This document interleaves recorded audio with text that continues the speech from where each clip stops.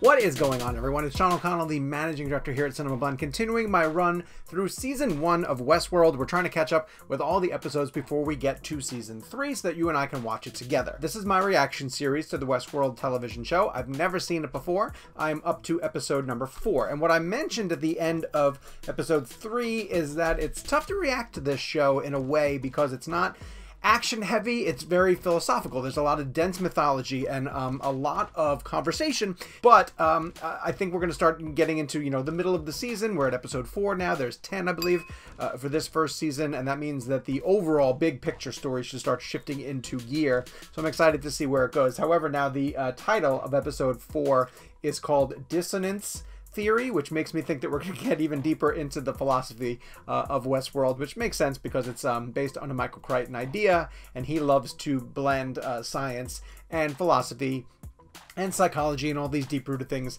that are probably much smarter uh, than I am, but right now I'm enjoying being along for the ride. Before we do that, you're going to go down and turn on your notifications because hopefully you're enjoying this run through Westworld with me. Maybe you're using it as a way for you to catch up uh, on the previous two seasons before the third one begins, and uh, or maybe you're a newcomer like I am, and we're sort of figuring out where the story is going together. So let's dive into dissonance theory and see what's in store for our hosts and newcomers uh, in the deadly park of Westworld, huh? I feel spaces opening up inside of me. Like a building with rooms I've never explored. That's very pretty. And deep for for a host. Is there something wrong with these thoughts I'm having? A little bit. No. Eh, a little bit. Westworld is deep. It's also a little ponderous. Little ponderous. There's something I'd like you to try. It's called the maze. The goal is to find the center of it. If you can do that, then maybe you can be free. Bernard does more damage than good with these conversations. And I have a theory about Bernard that I wanted to bring up in the third episode when I watched his conversation with Shaw. I think either Shaw or Bernard is um, an AI. I think. But then Bernard had that conversation with his family, so I don't think it's him. So I'm thinking, I think Shaw probably died a long time ago. And he's an AI. Better pull him off. What is the matter, babe? Something in your eyes.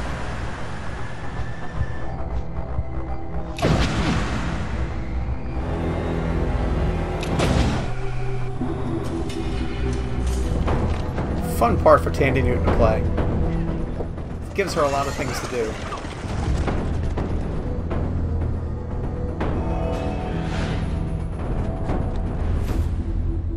Oh, look at that. Wow. No way. No, that's cool. That's cool. That's cool. That's cool.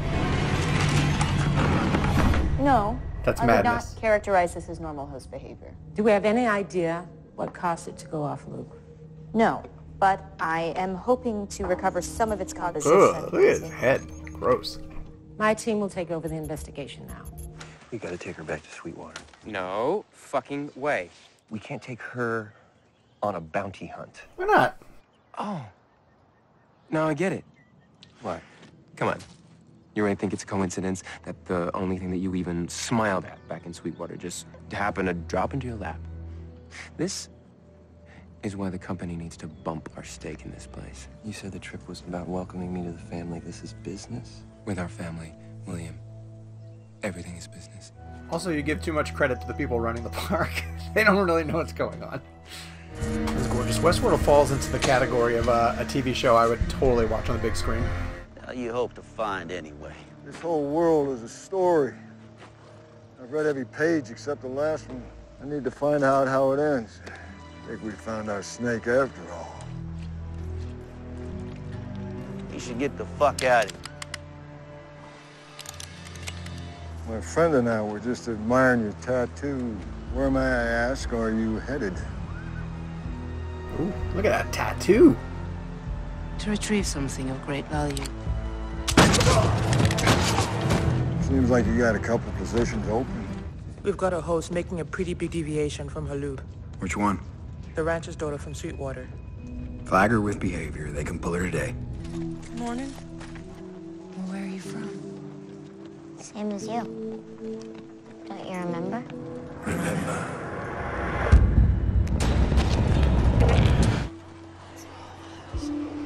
Ooh, look at you, little girl. You're a fascinating little girl. Ma'am? Got word a girl went missing from Abernathy Ranch.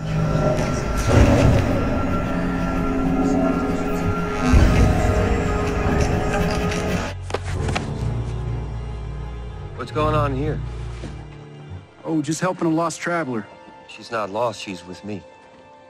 She said she'd signal if the information was good.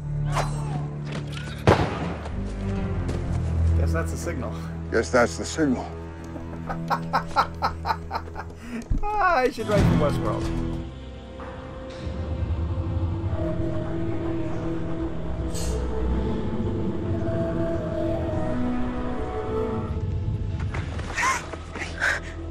You alright?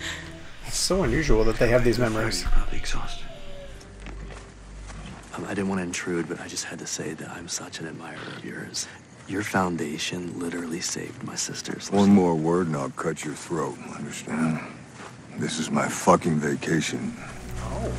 Apparently, that what they're looking for is in the old hall prison. I'll ride at dawn. I'll go get whatever you want out of that prison and bring it back myself. Suppose you make it out alive. What's your price? Nothing but a few words. You aim to break into a prison and take out 20 men alone. Not alone. I'll take Lawrence here. And I'll need one match. As good as Hopkins gets in this show, Ed Harris is starting to get uh, the equal amount. The, the story of the Man in Black is one of the most intriguing characters uh, in this entire season so far. Choices, Lawrence. If you did consider your choices, you'd be confronted with a truth you could not comprehend. That no choice you ever made was your own. I'm here to set you free. What does he want to do? Let all the hosts out of the park? Just where you're supposed to be? Your salvation. Who's that badass? What turns of fate that brought you here? It's a long story, I want to hear it. we don't have the time. Got Dang it. more time than your friend, sadly.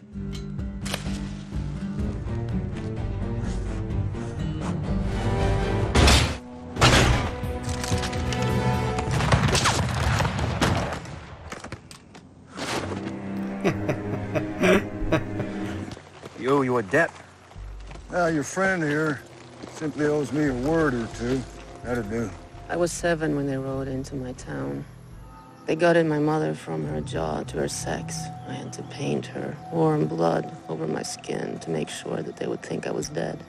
Every one of them I tracked down, I used their blood to paint my skin again. Only one man left. The head of the snake. Most know him as Wyatt. Hmm. But Wyatt's a new character in a story that Ford is just now writing.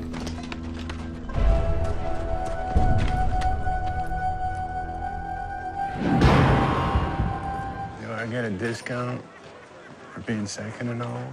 I'm sure we can work something out. I think he rides with Hector. Is that the one they say lives out with the savages? That's the one. Have the neighbors complained? Safe to say they're asking questions.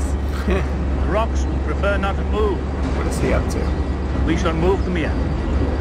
As you well know, I have always seen things very clearly. We know everything about our guests, don't we? As we know everything about our employees. I do hope you will be careful with Bernard. Please, don't get in my way. Oof. The board will agree with me. They'll be sending a representative. But they already have. I thought they would have told you. My narrative will be completed on time, and it won't be a retrospective. What's he doing? Slap leather, cocksuckers. Slap leather. Oh. Ah.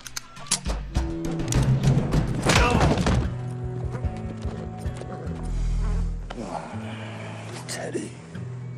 I should have guessed. my boss, El Lazo, he'll pay you twice what the marshals will. And if you cut me loose and give me to Pariah. Listen to me, you low Hey. down piece of dirt. These men won't be. Oh. What the fuck? Lazo is our ticket to the best ride in the park. Your bullshit mission led us right to an Easter egg. Huh. I feel like oh. I'd be compelled when I got into Which way Westworld to, to be a good guy and Oh, you just clean up clean up the town. here. I'm I'm I'm with William. I would want to go in and try and do good.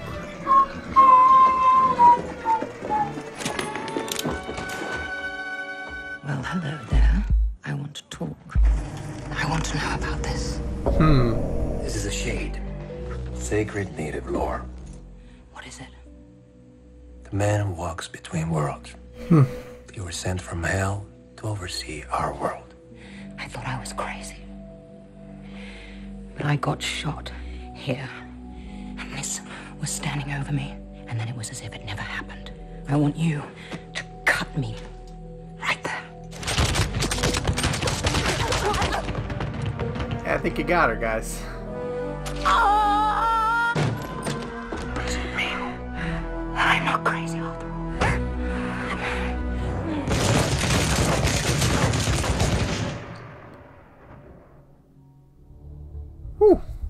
Okay, this one absolutely qualifies as a peeling back the onion episode of Westworld, and the fact that we know the big picture. We know um, that there's a Park, and we know the people are in it. We're starting to figure out their storylines, but there's a lot of um, very specific details that the episode decided it was going to drop.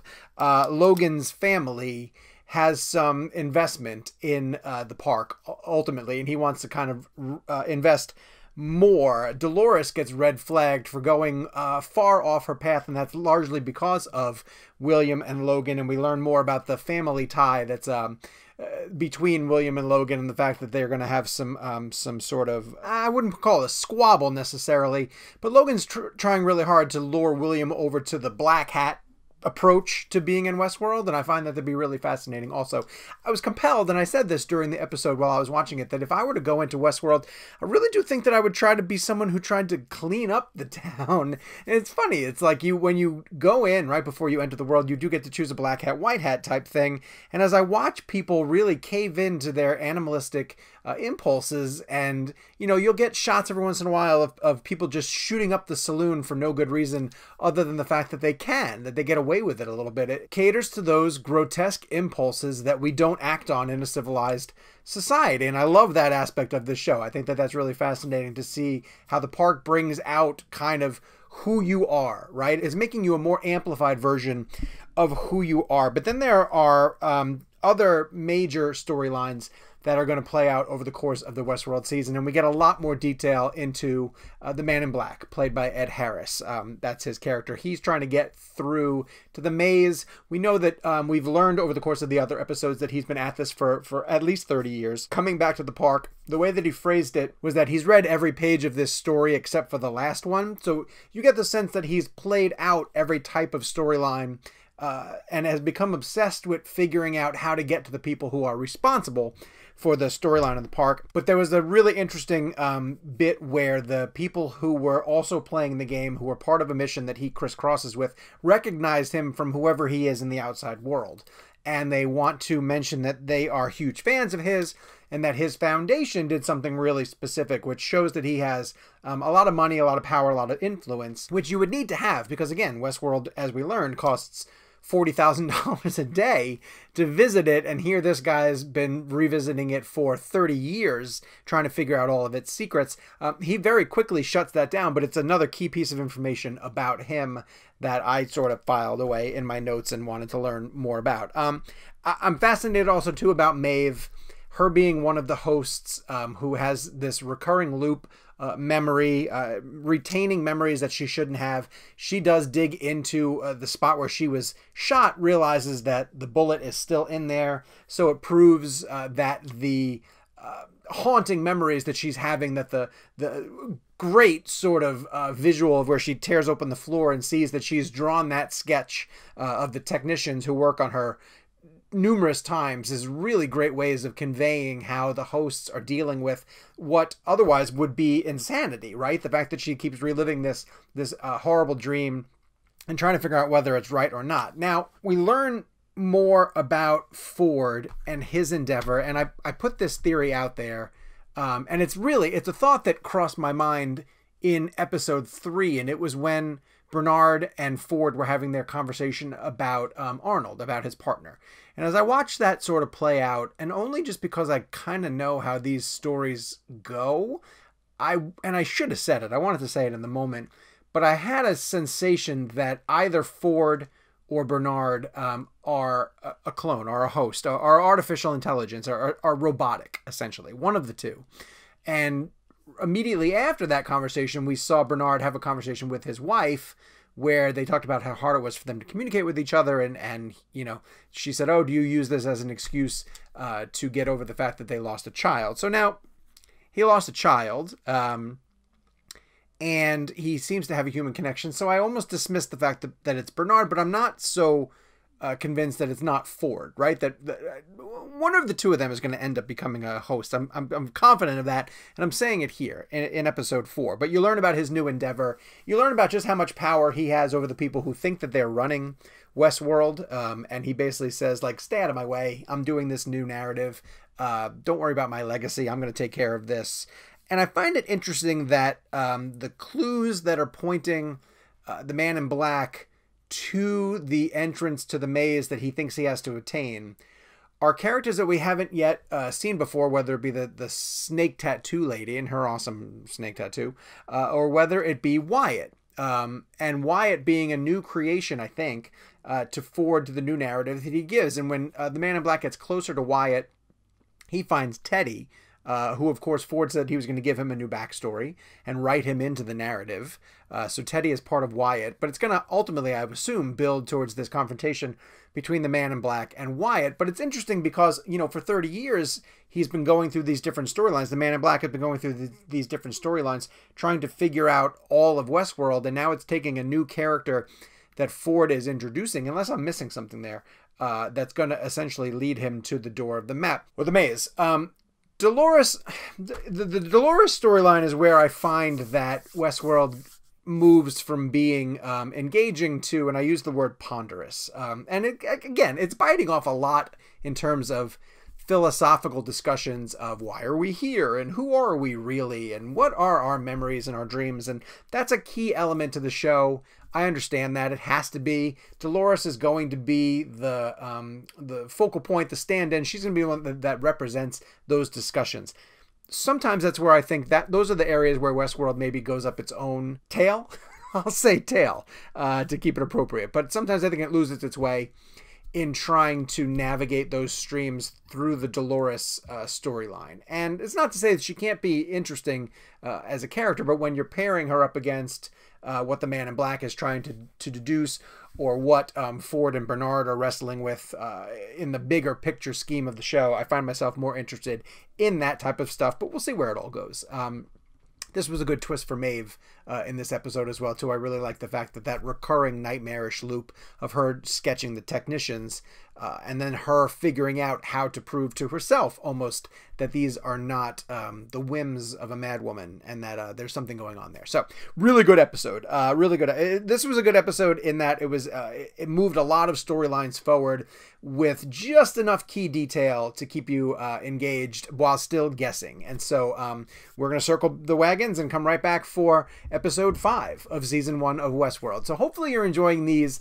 recaps and hopefully I'm helping you guys catch up with season one. So head to the comments, let me know what you think so far of the reaction videos and my interpretation of Westworld to this point. While you're down there, of course, hit subscribe, turn on your notifications, and every single time that we drop a new reaction to a fresh episode of Westworld, you guys will be the very first ones to hear about it.